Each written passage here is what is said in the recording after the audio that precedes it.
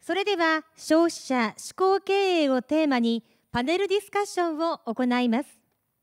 本日は消費者思考自主宣言事業者から消費者思考経営の実践事例をご紹介いただいた後消費者思考経営に取り組んだ効果や消費者や従業員とのコミュニケーションの工夫持続可能な社会に向けた取り組みの方向性についてご議論いただきます。コーディネーターは消費者庁新未来創造戦略本部次長草壁秀樹様です。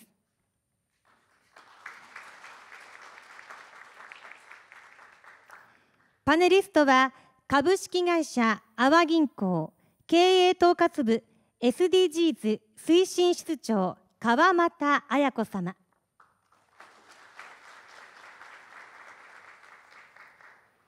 株式会社時は代表取締役社長高畑藤子様。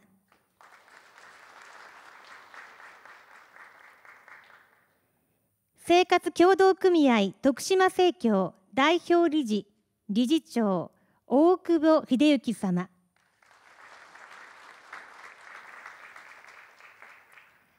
ライオン株式会社お客様センター部長今井隆二様です。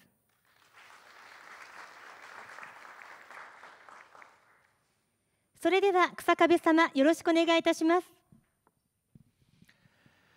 えー、それではですね、えー、パネルディスカッションに入りたいと思います。えー、この今回ですねパネリスト今ご紹介いただきましたけれども皆さん、えー、徳島で活躍されている方々と、えー、ライオン東京から来ていただいたあこのメンバーでやっていきたいと思います。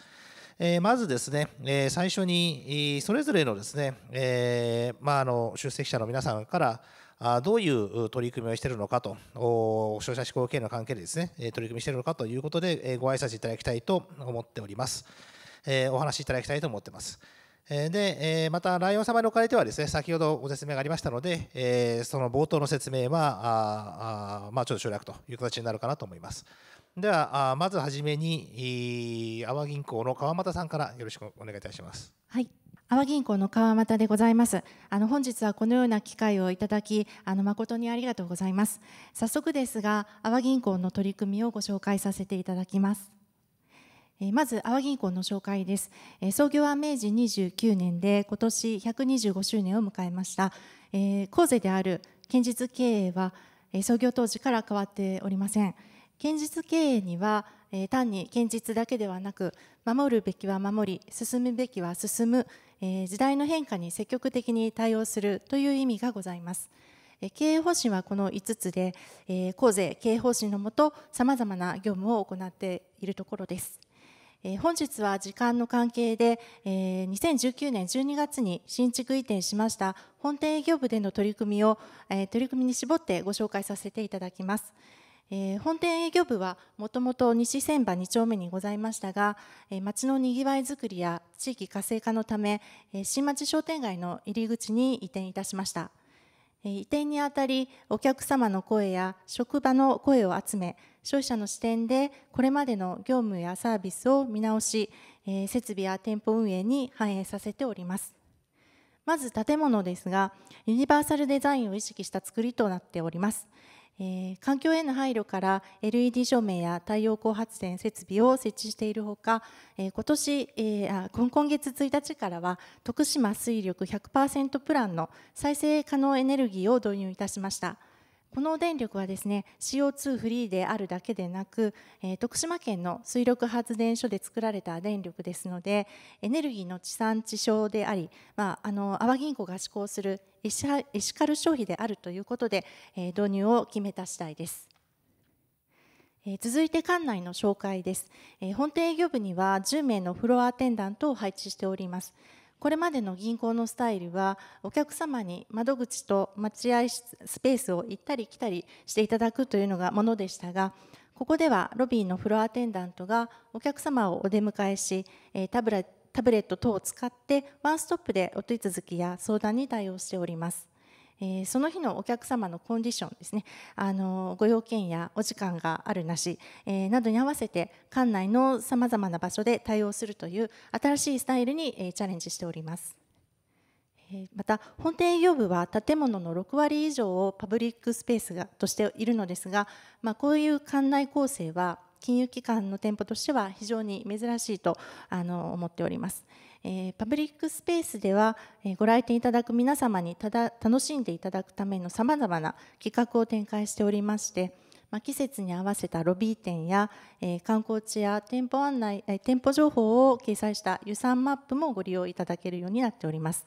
また、えー、ロビーはあの各種イベント会場としてもご利用いただけましてあの右上のあの写真はですね徳島県主催のイベント会場としてご利用いただいた時の写真を掲載しております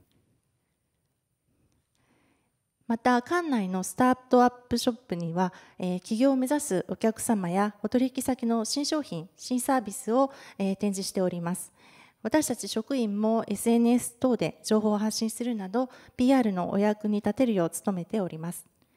まあ、銀行の本業はですね地域のお客様の持続的な発展成長を支援していくことですのでご融資だけにとどまらずお客様との対話を通じて課題を把握し課題解決に向けて SDGs の視点を持って伴走支援していくことが新たな価値の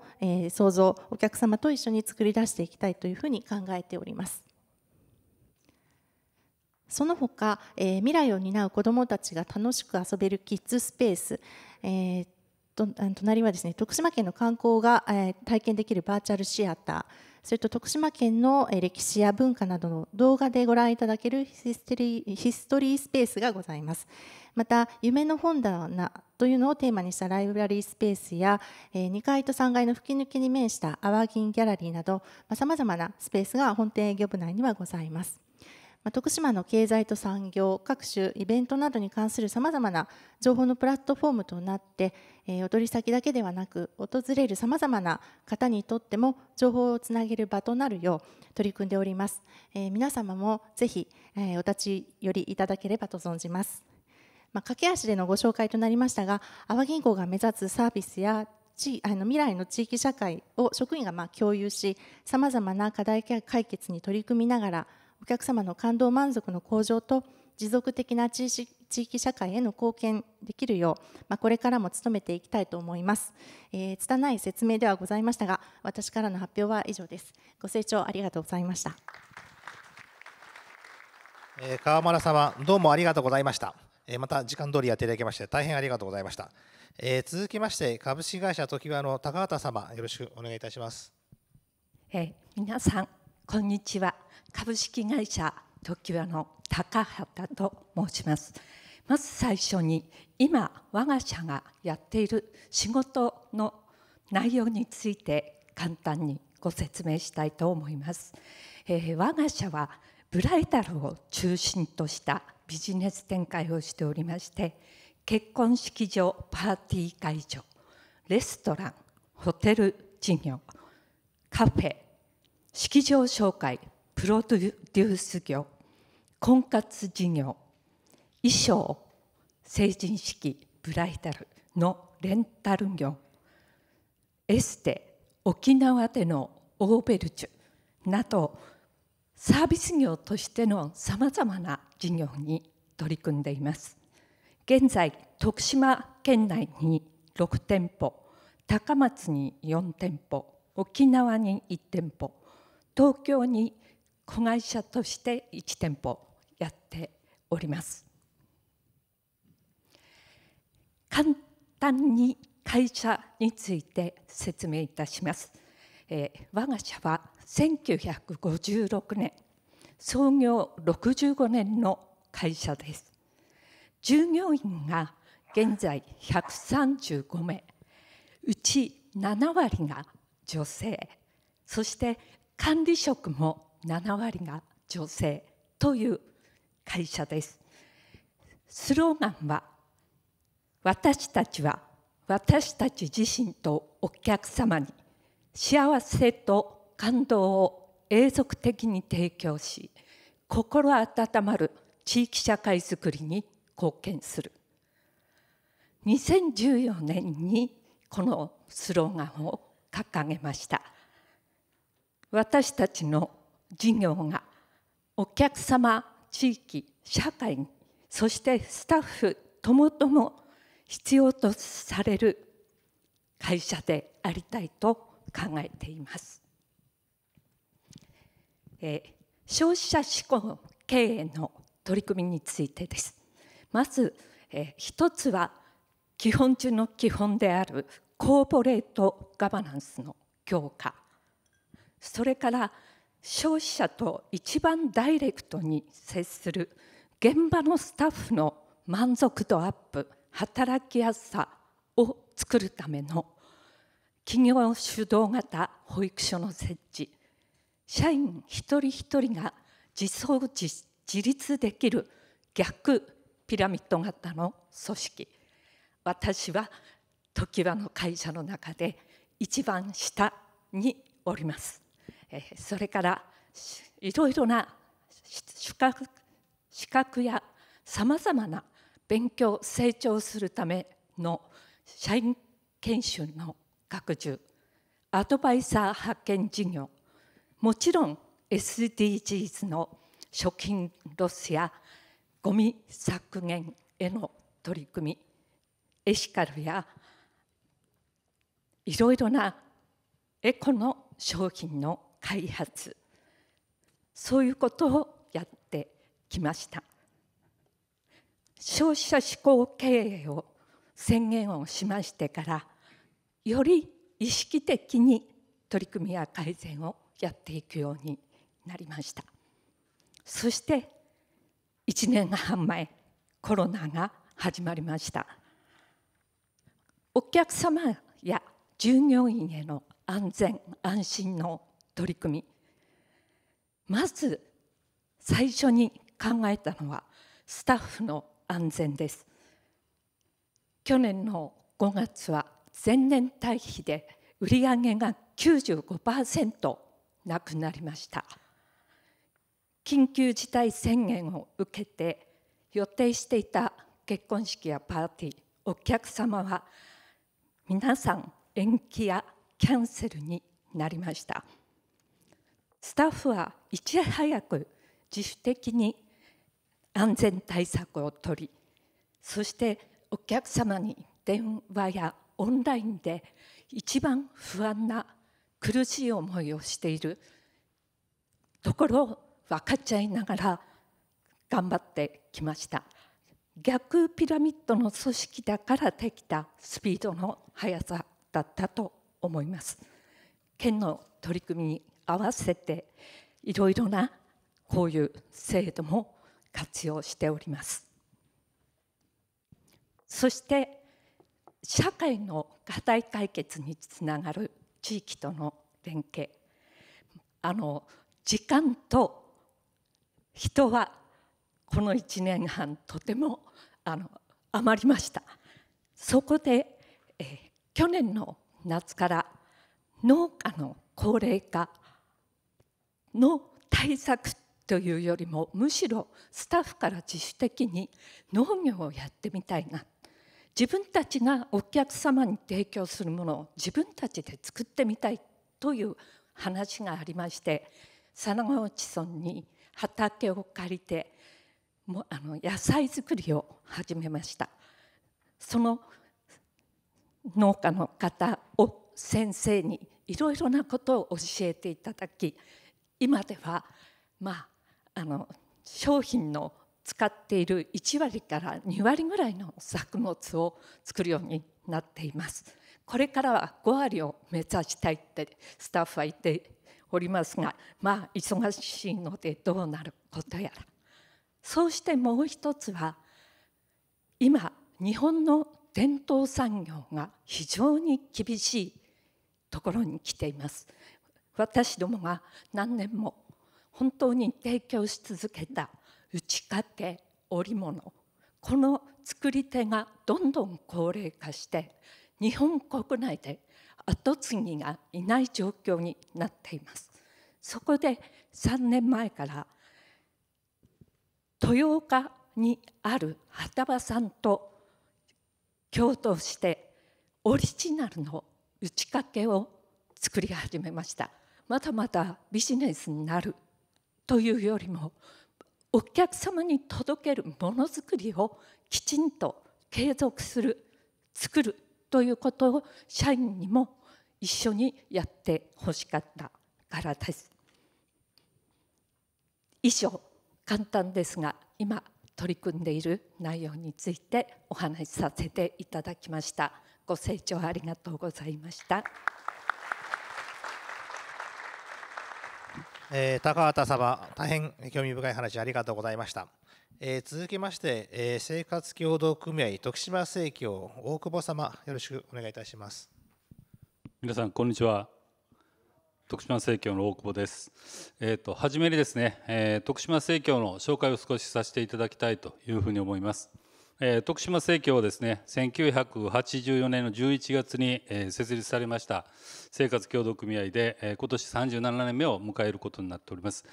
事業高はですね昨年度コロナ禍の中で多くの組合員さんに利用いただきですね118億5000万円と組合員数も県内では約10万12万人というふうな形になっております。で主な事業なんですけども宅配店舗共済夕食宅配この4つの事業を行っておりまして宅配事業はですね徳島県下全域をカバーして県内全域をエリアとしております。徳島生協ではですね理念にのっとって創立以来大切にしてきたこととして消費者の声を常に中心に置いて運営や事業を置いて行ってきました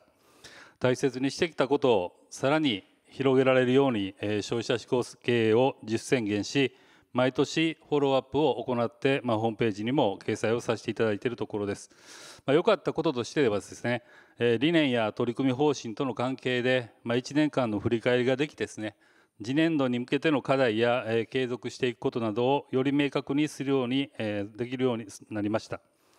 まあ、消費者の組織としてですね新型コロナウイルスの感染拡大が広がり組合員をはじめ消費者の方が巣ごもり需要の中意識が高まる中でですね正規の事業活動、えー、主には宅配事業による商品の提供を通してですね生協への信頼や安心が広がり多くの組合員さん消費者からありがとうの声をいただいているところでございます、まあ、こういったありがとうの声っていうのは本当にあの職員の励みにもなっております。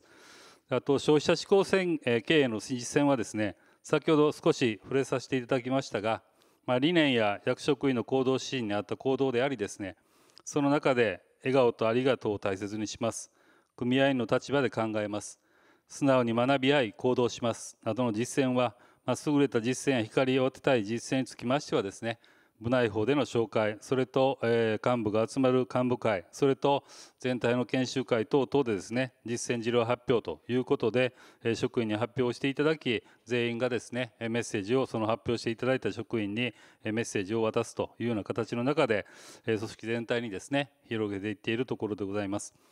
であの徳島生協の定款にはですねえ共同互助の精神に基づき民主的運営により組合員の生活の経済的文化的改善向上を図ることということがですね目的とされて定められておりますので、まあ、設立時から、え組合員消費者のですね暮らしに役立つことを進めています。まあ、消費者の声を聞くための仕組みとしてはですね宅配では、まあ、あなたの声を聞かせてのアンケートよかったよよくするカードであったりとかお店では私の声カードなどあり、まあ、寄せていただいた声はですね年間約5000件というふうなことになっております。まあ、寄せられた声はですね機関会議を通して大きく分けてすぐに改善できることは生かすそして政策的に検討することは検討しっかりする、まあ、現時点では実現が難しいといったことはですねしっかりと、えー、いただいた声を組合さんに返すというような形で、まあ、分類しながらですね一歩一歩前進をさせていっているところです、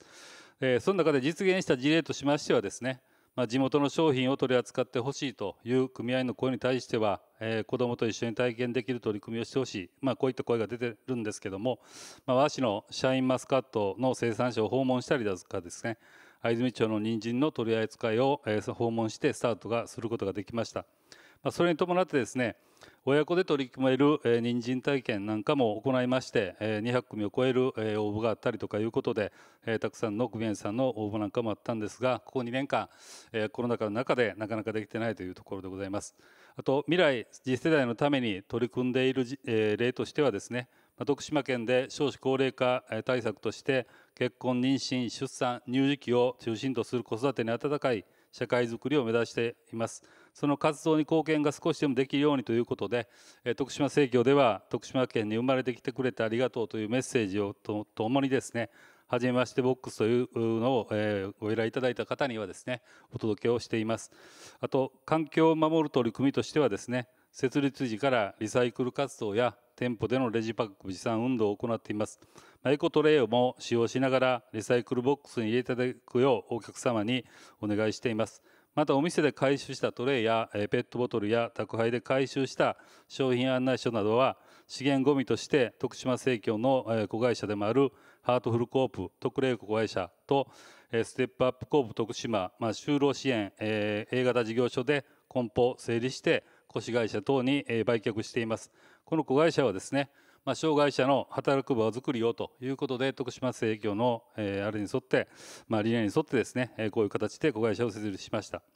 で宅配ではですね徳島県内を毎日150台のトラックが配送しています。徳島生協は地域の行動をお借りして事業を行っていることを常に忘れないように安全運転の意識向上と無事故無違反を目指しています。また職員の命を守るとともに交通安全法令遵守のためにですねドライブレコーダーも設置しトラックにはこのコロナ感染の中で自動手指消毒器を設置しながらですね配送時に入受に来られる組合員さんにも安心感を持っていただけるようにということで新型コロナウイルスの感染対策も取り組んでいます。それはもう一つの大切にしなければならないですね。重要な課題として挙げている働き方改革だと思っています。まあ、まだまだ不十分ではございますが職員のやりがいや労働環境を改善しなければならない大切な課題です、えー、そうした中で働いてくれている職員がですね元気で安心して働ける職場になるようしっかりとした経営を目指していきたいというふうに思っております。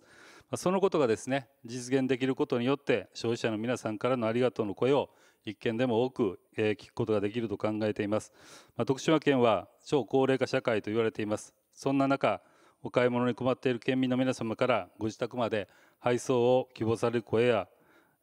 えー、生協への期待が高まっています。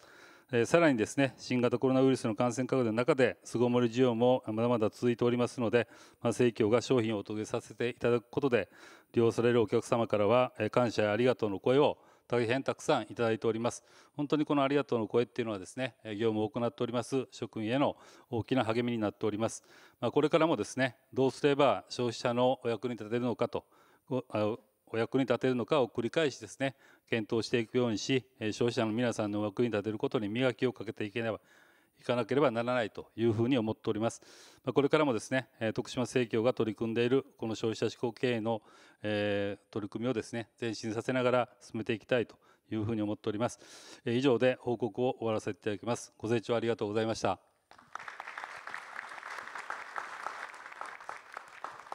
えー、大久保様、大変ありがとうございました。えー、内容につきましては先ほどの基調会を持って返させていただくということになりましてこれで、えー、それぞれ、えー、4社のさまざまな消費者志向経営に関する取り組みを今まで、えー、配置をしてきたわけでございます。えー、これからはですね、えー、少しですね皆さんと意見交換をさせていただきたいと思ってまして消費者志向経営をですねやっぱ広めていくということも大変大事だろうと思ってましてさまざまなちょっと短い時間ですけども意見交換をさせてもらいたいと思います。えー、消費者志向経営っていうのはですね、えー、我々も消費者庁としても今非常に進めておりますけれども、おまあ、いくつか視点があるわけですけどもその一つがもう社会のことを考えるとか持続可能な社会に向けての取り組みっていうのも一つ。それから、まあ、皆さんのいろんなこう周りの人あるいは社内の人の声を聞くと。いうのがもう一つ。それから、ま、コーポレートガバナンス、え、問題のあるような、ま、法令遵守と、ま、そういうのをしっかりやっていくと。この3点が大きな柱ということで特に今回は最初のですね取り組みについて、え、皆さんからお話をいただいたところでございます。で最初の質問でございますけども消費者志向経営に取り組んだあこの効果とアドバイスですねこれから取り組もうとかあるいはまあまだ実宣言されてないような方々に対してですねやはり宣言してよかったとかあるいは消費者志向経営をしてよかったとか、まあ、そういったことについてですね、えー、いろいろあのちょっと簡単にですね、えー、お答えしていただきたいなと思ってます。まあ、1人3分から、まあ、5分ぐらいの間でですね、えー、コメントしていただければ大変幸いでございます。えー、もう時間がないので席順でですね発表順ということで川村さんからよろしくお願いできますでしょうか？はいありがとうございます。えっ、ー、とまああの阿波銀行ではですね消費者志向経営あの自主宣言しまして、まあ本来あの銀行業務とまあボランティアのような社会貢献活動というものを切り分けて考えがちだったんですけれども消費者志向経営というまあ視点でまあ捉え直すことができた、まあ、これまで実施してきたさまざまな活動を整理することができたというふうに思ってます。その結果、まあ、自分たちの目指すべき方向性が明確になって、まあ、新たな課題の発見にもつながったというふうに考えております。で、まあ、自分たちの取り組みが、まあ、あの取り組みに対してまお客様の反応っていうのがま見えるようになることで、まそれが職員の働きがいとかやりがいにつながっていると思います。でまあ、こうしたその消費者志向経営や、ま本業を通じたま SDGs への取り組みと、ま職員のやりがい、え、とか満足というものがま好循環を生み出してでまたさらにですねより一層お客様のサービスの品質向上に、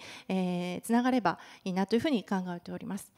でまあ、アドバイスっていうとなんかおこがましいんですけれども、まあ、あの何か消費者志向経営っていうと新しい取り組みをしなければいけないというふうに考える方もいらっしゃるかもしれませんが、まあ、ほとんどの企業様におきましては、まあ、すでにいろいろな取り組みをされているかと思います。まあ、それをですね消費者志向経営のまあ3つの視点とか SDGs のまあ17の目標、まあ、それぞれにまあどれに当たるかっていうのはマッピングすることであのまた新たなアイディアが生まれたりあの次の目標っていうのが見つかるのではないかと。でまあ、それによって消費者志向経営の,、まあ、あの好循環が生まれるのではないかなというふうに考えております。あのまあ、職員の一人一人のエシカル消費活動とか、まあ、業務を通じての改善活動働き方改革なんかも、まあ、ひいてはお客様の利便性の向上や、まあ、地域の魅力向上につながる取り組みなんではないかなというふうに考えております。以上です、えー、ありがとうございました、えー、続きまして高畑社長お願いします。はい、えー、まず一つ最初に選んでいただいた時に考えたのは自社のこれまでの取り組み方向性が間違っていなかったということです。サービス業です。お客様がいて満足していただいてお金をいただく。当たり前のことじゃないかと社員にも初めはそんな声もありました。でもそれをもう少し客観視して継続的につなげていくそれとこれを検証したり表彰していただくチャンスがあるということで自分たちが普通の業務としてやっていることがそれだけじゃないんだという誇りややる気がスタッフの間に非常に生まれたのではないかと思います。また一方で経営者である私にとってはまだまだ課題がたくさんあるな。単なる顧客満足度っていうものではない。やはり地域それからきちんと見える化する。それから次の課題を次々とやっぱり見つけるべきだしまた見つけなくても向こうからやってくる。そういうことについてロジカルに考えるいい指標が一つできたなと思っております。以上です。大変ありがとうございました、えー、続きまして大久保理事長お願いします。はい。えー、っと消費者志向経営のところはですねまあ、あの合わせた10宣言をしてやっぱり毎年フォローアップ、まあ、あのうちも毎年の理念あの方針なんかを作ってるんですけども、まあ、方針とは違うまたあの自主宣言をした中身に沿ってですね毎年フォローアップをしていくということで、まあ、理念や方針あごめんなさい方針以外の部分でも、えー、どうだったかというふうなところがですねどこまで進んでこれからどうしていく必要があるのかというところがですねやっぱり明確になってきて毎年フォローアップをするということがですね今回この消費者思考経営を取り組んで、まあ、あの良かったところじゃないかなというふうに思っております。でやっぱり消費者の組織、まあ、先ほども報告させていただきましたけども消費者の組織ですから、まあ、そういった消費者の声を聞きながらそれに対してどこまで何ができるのかということも日常的にですね、えー、責任会議の中でもいろいろな場で、え、意見交換できたりとかいうようなことが、え、できるようになっているというのは、まあ、あの理念役職員の行動指針と同じようなことではあるんですけども、まあ、この思考経営をしたことによってですね、まあ、さらに前進していったんじゃないかなというふうに思います。あとまああの、えー、っとこれからまあこの実践業ですね消費者志向経営を始められるというところに対してなんですけど、まあ、アドバイスというほどのことではないんですけども私どももそうなんですけど皆さん方がもし取り組まれるとしてももうすでに皆様方の会社等々でもやってることなんじゃないかなというふうに思います。ただそれをですね消費者志向経営ということの言葉に変えてやってみるということで、まあ、あのできることからやってみるということで、まあ、今の会社の理念方針に沿ったことじゃないかなというふうに思いますから、まあ、できることから気軽にやってみたらどうかなというふうに思います。以上です、えー、ありがとうございました。えー、では続きまして、えー、ライオンの今井様あの補足説明とかもあればそれも含めてあのお話しいただきます、はい、えっと今日少しお話をさせていただきました。おそらくあの我が社がですね長年進めてきたこの顧客視点での経営がですね消費者庁があ多分定義を明確にしていただいて推進いただいているとこの消費者志向経営という広く共有された考え方で捉え直すことができたのかなというふうに思っています。社内外に対してもですね企業活動それから企業価値を一貫して分かりやすい流れで説明また発信することができるようになったのかなということです。で今日お話をしましたパーパスドリブン経営ですねこちらにこう進化をさせながら事業活動の方向づけがより強固にできたのかなというふうに思っています。今回あの有料事例表彰で、えー、表彰をいただきました、まあ、130年にわたる当社全員が関わった活動だというふうに認識しております、えー、感謝と自信それからそして今後の一人一人の活動へのモチベーションアップにつながったのかなというふうに思います。また今回の受賞を受けてですね、社外の有識者の方からも当社のパーパスをですねいろいろ評価をさせていただきました、まあ、そういった意味で、このパーパスということを基軸にですね消費者執行経営を進めていくということが社内の意識啓発にも役立ったというふうに考えております。特にですねあの今日この場をいただいたのもそうなんですけれども表彰をいただいた後なんですけれどもいろんなところでお声がけをさせていただきましてあのいろんな方々行政の方それから事業者の方と意見交換できるということもありましてより今後消費者志向経営を進めていける活力になるのかなというふうに思います。そしてあの今日あのお話をお聞きいただいている皆様のそれぞれの事業者の方にとってもおそらく会社や顧客ニーズに応える活動をされてるんだろうなというふうに思っています。そういった意味で顧客視点で事業を捉え直しながらですねえー、皆様の事業また私どもそうですけどなんで、えー、存在してるんだろう、まあ、やはりパーパスここを明文化をしていただくということが非常によろしいんじゃないかなというふうに思っています。それで事業のすべき方向づけができるというふうに考えておりますしそのパーパスをですね社員全員がですね自分ごと化するということが大事なのかなというふうに思います。そしてですね、え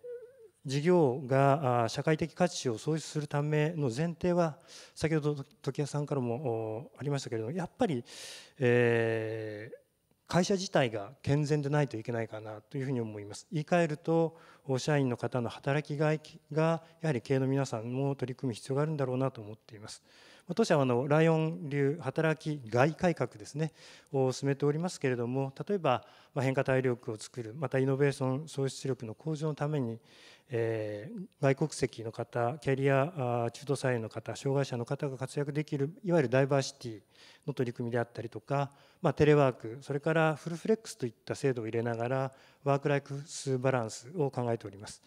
また最近では副業もやどんどんやろうよという形でいろんな知見を外から中から入れていくというこういう働きがいそして今私もあの部長自体がですね、えー、関係性要は部下との関係性を見直しなさいということで部長から研修を受けなさいということで6ヶ月間の今研修を受けてるんですけれども、まあ、そういった関係性社内の関係性を見直すということも非常に重要なのかなというふうに思っています。まあ、その中で今日はあの習慣づくりという話をさせていただきましたけれどもなかなかあのこういった取り組みをするときに新しいことをですねやろうと思ったときにじゃあどこの部署が主体になるんだというこんな議論があるかなと思うんですけれどもなかなかあの総論賛成で各論反対みたいなこんなのがあると思うんですね。こういった時はやっぱり言い出しっぺがですねあの仕組み化ですよね仕組みを作ってあげるということが非常に重要なのかなとそれがあ働きがい改革の中で社員が生き生きと働けるということになればそういったことも可能になってくるんじゃないかなというふうに考えていますちょっと長くなりましたけど以上ですえー、大変ですね、えー、貴重なお話どうもありがとうございました。今、4人のですね、あのまあ、事業者でそれぞれの責任を持っていろいろ活動されている方々からあ貴重なお話を、まあ、いただきました。私としてもですね大変あの勉強になる言葉が、まあ、たくさん、まあ、ありましたけども、まあ、それを再整理していると時間がなくなりますのでちょっと、えー、次の質問の方に移りたいと思います。えー、当初はですね、えー、もっとその社内のいろんな話も聞こうかなと思ったんですけども、今、そういう話もすでに出ましたので、えー、今度は3つ目の今回お聞きしたかったこととしてですね、3点目で、まあ、あのこのシンポジウムのテーマでもあります、アフターコロナを見据えてと、ウィズコロナ時代の今こそ考える消費者志向経営ということで、こうコロナとの関係も少しちょっとお聞きしていかなきゃいけないかなと思っております。でこのアフターコロナを見据えたですね持続可能な社会に向けて各それぞれの会社さんでですねどのようなことを取り組んでいるのかあ特にですねあの業種によってはあまあ、あの大久保さんのところはなかなかあのコロナの関係でちょっと業績がいいのかもしれませんが他のところはなかなかあの業績的には大変苦労されてるんじゃないかなとちょっとライオンさんはよく分かりませんけどもいろいろあの状況があるかなと思います。まあ、そういったあの、まあ、コロナの中でですね、えーまあ、今回のテーマコロナをアフターコロナを見据えた消費者志向経営ということでございますので、えー、そういうアフターコロナを見据えた持続可能な社会に向けた取り組みについて、え、それぞれの皆さんからあまた簡単に3、4分ぐらいですねお話しいただければ大変幸いでございます。ではまたあの順番通り川村さんの方からお願いします。えーとまあ、コロナがあの感染症が拡大する前からそのサステイナビリティに対する意識の変化っていうのはまあ感じてはおりましたが、まあ、この感染症の拡大によって、まあ、あのさらにその変化のスピードというのが、まあ、医師の強制力を持ってまあ加速したというような認識でおります。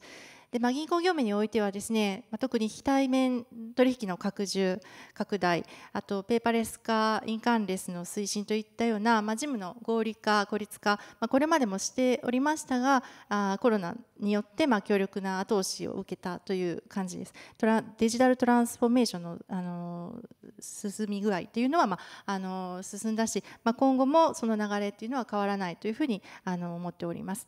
であの、まあ、経済活動もあの社会活動っていうのも、まあ、ご存知の通り環境の土台があって、まあ、成立しているところですので、まあ、今あの昨今言われております地球温暖化とか気候変動への対応ですねそういったまあ世界共通のあの課題に対してもあの地域金融機関としてあの率先して取り組んでいかなければならないというふうに考えております。でまあ、これまで社会基盤を支えてきた、まあ、あの地域の産業が、まあ、SDGs や社会の持続可能性を高める分野へシフトしていく移行するそのまあ支援をする、ま、トランジションファイナンスなどにおいて、ま、金融機関としての役割をましっかりあの果たしていきたいというふうに考えております。でまた、まあ、あの環境への取り組みもそうなんですけれども次世代のためということになるとやはり次世代を担うあの未来を担う子どもたちへの子どもたちの育成っていうのに、まあ、あの引き続き力を入れていくというふうに考えております。まあ、今日ご紹介できませんでしたが阿波銀行としてやっている、まあ、あの小学生のスポーツ大会であるとか、まあ、いろいろなあの学校への訪問して授業をあの行う金融教育ですとかそうした、まあ、教育の機会っていうのを、まあ、引き続き提供していければなというふうに考えております。以上です。えー、続きまして、えー、高畑社長お願いします。はい、あの多分コロナで最も影響を受けている業界の一つだと思います。あの9割以上が対面のビジネス B2B そしてブライダルやパーティーというたくさんの人が集まってすることこれが正直本当に1年半経った今でも結婚式は少しずつ始まっていますでも少人数であったり写真だけであったりレストラン宴会まあ少人数の食事はあの緊急事態とか出てない時はポツポツと始まっています。で去年1年間我が社は8月が決算で去年1年間の会社のテーマを危機感を持って臨機応変に新しい仕組み新しい売り上げを作るとしました。本当に仕事がないということの苦しさこれはあのスタッフ一人一人が感じていたことですしそれ以上に結婚式を延期しているお客様たちも悩みに悩んでおりました。その間にまあ普段やれないことをやってみようよということでテイクアウトお弁当それから農業。今考えますとあの物販のショップのオープン。去年の時期だけで新しい仕事っていうかショップも含めて4つぐらい立ち上げてます。あのお金もないのになせって思いますがある種このコロナは時間と人で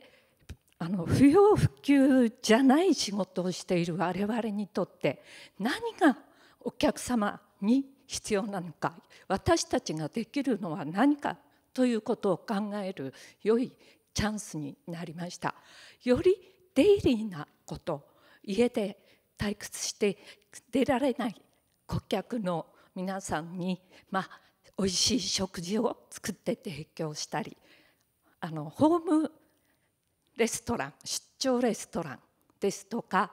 あの前撮りですね。写真で記念に残そうとかいろいろスタッフの側からアイデアが出て仕事に取り組んできました。まだまだ戻っていません。ただこれからの我々の企業に必要なことは何か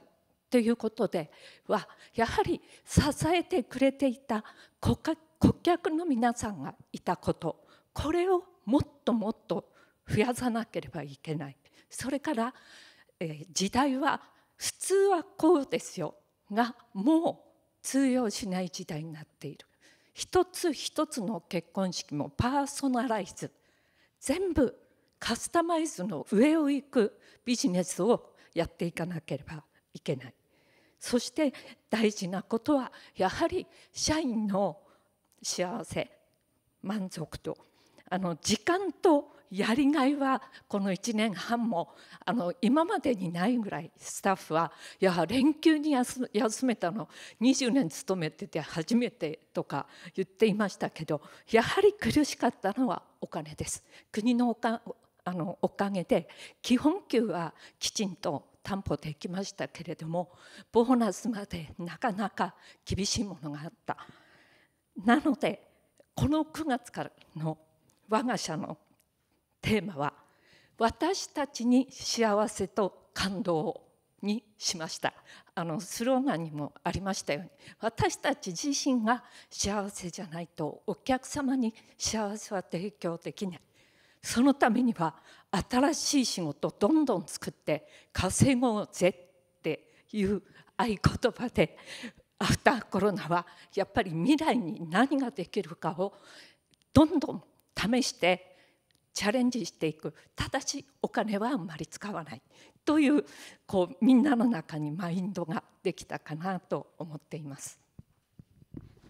えー、大変ありがとうございました。続きまして大久保理事長お願いします。はい、えーと、この2年間、まあ、約2年間に及ぶですねこのコロナ禍の中で、えー、消費者の生活新しい、えー、生活は大きく変わったと思います。で徳島生協の事業もですねやっぱりあの今まで対面でやれたことがなかなかやれなかったりとかいうことであのやっぱり人と人とのつながりがですねすごく、えー、や弱くなってきてるんじゃないかなというふうに思います。でそうした中でですねこのコロナ禍を迎えてずっと業務を行っていく中で職員と話をしていると1人暮らしのお年寄りの方がですね我々職員が行くとを待ってですね、えー、いろいろやりたいことできたい自分がやりたいんだけどできないから職員にこれをしてほしいというふうな要望がたくさん出されております。まあ、そういった中で、え、コロナ禍コロナが終わって収束してアフターコロナになったとしてもですねやはり新しい生活様式っていうのはあのなかなか元には戻らないというふうに思いますのでそういった中で我々が何ができるのか一人一人の組合員さんともう一度人と人とのつながりをですね大切にして構築していくということをまずは進めていきたいかなというふうに思っております。それとあともう一つはですねやはりあの我々のところもできてないんですけどもデジタル化っていうのはどんどんどんどん加速されていくんじゃないかなというふうに思います。店舗のレジにしてもそうでありますしまだあの我々はえっ、と人でレジで通過するという形になっておりますんでその辺なんかも新しいレジの検討であったりとかあとはあの DX ですね。デジタルトランスフォーメーションの中で我々の盛況っていうのはどうしてもあのマニュアルが多いんですけども、まあ、これからは DX コープということで、まあ、全国の盛況力を合わせながらですね、えー、例えば7 c コープアプリを作って組合さんがそこに登録していただければ、えー、組合さんにとっていい情報が提供できるというようなことをですねどんどん広げていきたいかなというふうに思っております。まあ、これもですねあの昨年取ったアンケートの中では、えーと、コロナ禍の中で組合員さんの料理のメニューレシピが欲しいと。やはりあの毎日食事を家で作る時間があ作る回数が増えてですねメニューが限られているという中でレシピはもっと欲しいというふうな声が上がりました。でこれなんかもこのコープアプリの中でですね開発をしていきながら人一人の主婦の方のとか働いている方にもですね役立てるようなこのデジタルを使った活用なんかも進めていきたいかなということで今全国の政教と一緒になってですね検討しているところです。であとこれから、えーと、学ぶ機会、まあ、子育て、まあ、次世代に向けてということですけどまあ、小学生を対象にしながらですねやっぱり SDGs ということであのうちもいろいろな商品を取り扱っているわけですけどもそういったものがお店でですね意識しながらこうあこれはこうだねっていうことを考えながらできるような、えー、店舗に、えー、勉強会をするであったりとかそういったこともですね、まあ、積極的に開催していきたいかなというふうに思っているところです。以上です。ありがとうございました。えー、続きまして最後に、えー、ライオンの今井様お願いします。はい、えー、コロナということで、えー、今日またあの冒頭ご説明しましたあ当社ではインフェクションコントロールですね。感染症リスクの軽減をいかにしていくのかと。この領域での製品やサービスこの辺りの提供をですね、え、しっかりやっていくということと、まあ、習慣化ですねを促進する啓発活動を合わせて継続してまいりたいなと思っています。またアフターコロナというところもあって、えー、消費者の意識の変化また購買行動の変化生活行動様式の変化等々に柔軟に対応していかないといけないかなというふうに思っています。で、えー、今日私お客様センターというポストで立たせていただいてます。あのお客様からの電話を直接受けるという部署でございまして、まあ、ライオンの顔としてお客様対応してございます。実は来、えー、昨年の最初の緊急事態宣言が発令された時は東京やっぱり経済止まったなっていう感じがありました。で当お客様センターもですね、えー、2か月間ほど電話業務窓口を閉めざるを得なかったという形になります。この時に感染症のひどさというのは分かりましたけれども一つは事業として要はお客様の電話取れないとお客様とコミュニケーションできないということに関して一つは在宅またはテレワークでお客様対応できないかというこの取り組みを開始をいたしました。在宅での電話を取るということを一つやりました。あともう一つはですねやはりあの毎日、えー、と弊社ですね大体400件ぐらいお電話あるんですけれどもこのお客様が2ヶ月コンタクト取れないということでもう今一度ですねお客様の自己解決を図るため何かできないかなというふうに考えましたそれがですねデジタルなんですねやはりあのデジタルで解決することの一つにこういったお客様対応もあろうかなと思っています。実はあの当社はあの日用品の製品を製造販売しております。あの皆様のご家庭にも多分あるかなと思いますけれども問い合わせの大体15%がこの商品どこに売ってますっていうこういう問い合わせなんですね。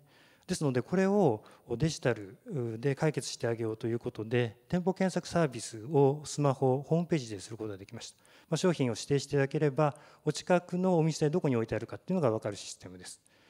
これは24時間365日できるということで実はウィンウィンということですねお客様センターが開いている5時間6時間ではなくて休みの日それから深夜でもですねこれは検索できるということですのでお客様の購買行動はやはり休みの日であったりありますからそこで知りたい時スマホで検索ができてお店に足を向かわせてもらえるできるとこういう仕組みを作りました。またあのなかなかまだ今勉強中ですけどチャットポットこの辺りもですね今後必要になってくるだろうなというふうに思っています。またホームページ自体もですね弊社あの解熱鎮痛剤も取っておりますあのインフルエンザワクチン等々いろんな問い合わせがあるのでこれもですねホームページの FAQ にしっかり盛り込んでいこうということでスピーディーにホームページ上でもコミュニケーションができるということに取り組んでおります。あのデジタルはですねやはり若い方はリテラシーが高いですのですぐ飛びついてくれます。弊社大体35%が65歳以上の方のお問い合わせなんですけれどもデジタルをすることで半分以上がですね30代の方のデジタルアクセスの確認できました。これが一つまたお客様との接点の拡大をデジタルは可能にするということが理解できた事例かなというふうに思っています。今後もですねデジタルを使ったこれからで双方向のコミュニケーションをどうあるべきかといったところまで検討していきたいなというふうに考えております。私の方は以上になります、えー、大変ありがとうございました。え、皆さんからですね非常にそのデジタル化の推進の話とかまたこのコロナの関係でですね、えー、それをきっかけに新たな取り組みをいろいろされているとまたお客様との関係をもう一回見直すとか、まあ、そういうことをされているというようなお話があったところでございます。えー、今日はですね、えちょっともう時間が参りましたので、えこれで終えたいと思いますけれども、さまざまな消費者志向の経営の関係の取り組みについてですね、いろいろな有意義なコメントがいただけたかなと思っております。え一つ一つは紹介できませんけれども、また高畑社長のところからですね大変あの苦境の中もですね社長が一番身分が下だみたいなですねピラミッドの下だっていうのもまたちょっと消費者志向経営とどこまで、関係あるか分かりませんけどもなかなか面白いあのお話もありまして私ども大変あの勉強になった次第でございます。それでは、時間も回りましたので、パネルディスカッションはこれで終了したいと思います。大変どうもありがとうございました。